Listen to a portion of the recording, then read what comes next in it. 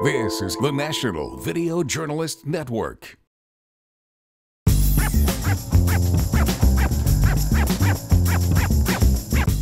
Welcome to My Long Island TV. From Manhasset to Montauk, we've traveled our communities to bring you the following events. I'm your host, Waldo Cabrera. My Long Island TV starts now.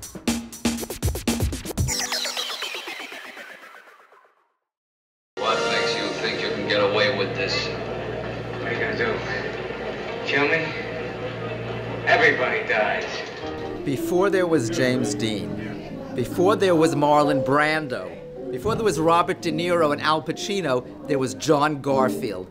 Tonight, Julie Garfield, his daughter, is here at the Cinema Arts Center, and she's telling his story along with David Heeley and Joan Kramer, the filmmakers who made the John Garfield story, among many other great films. It's going to be an absolutely fabulous night. John Garfield's story, it is so dramatic. It's almost a Hollywood movie. In fact, we, we, Julie and I have said so many times, why has nobody made a movie about John Garfield's life? Street kid to theater in New York, to movies in Hollywood, huge star who came crashing down. Very largely because he was hounded by the House Un-American Activities Committee uh, at the time of the communist witch hunts in the early 50s. The committee had actually been going for quite a while and it, it had lost its luster.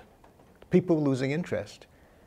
They decided they had to get something that would get them headlines. Big they prize. wanted a big movie star and they hit on John Garfield.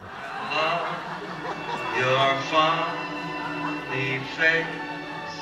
When I was asked to do Funny Face, it was the fulfillment of a dream that I, like every other woman in the world, had always had. To dance with Fred Astaire. I used to produce uh, a, a number of programs for television. We, Joan, my partner, and I, we got a call saying, Would you be interested in doing a show about John Garfield? I said, Oh, nobody's done it? They said, No. And I said that would be incredible, and I would love to be involved in that. Robbie called the doctor, but Catherine died in her mother's arms, the victim of a full-scale allergic reaction.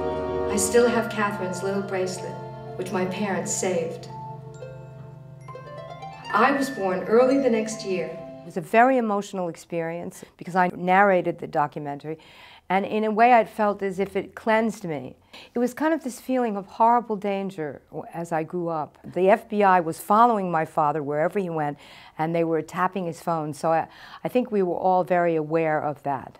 Right after my father died, the FBI came to our apartment. And in those days, the FBI men were very scary looking. They wore these hats and raincoats, just like in old movies. And uh, my mother um, screamed at them, and she basically said, You killed him already. You got what you wanted.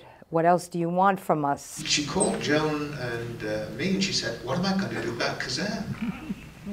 If I invite Kazan to the party, nobody else will come. Joan and I, you, you press a button and we tell you a story about somebody.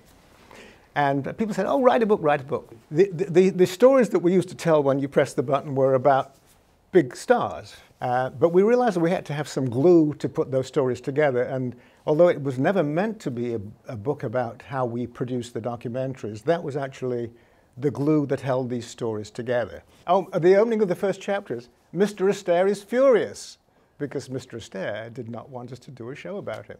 question before this committee and the scope of its present inquiry will be to determine the extent of communist infiltration in the Hollywood motion picture industry. To be a documentary filmmaker, you've got to learn how to tell a story.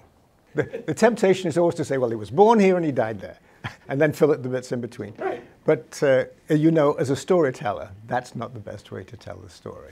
You have to find some dramatic moment to engage your audience to start with.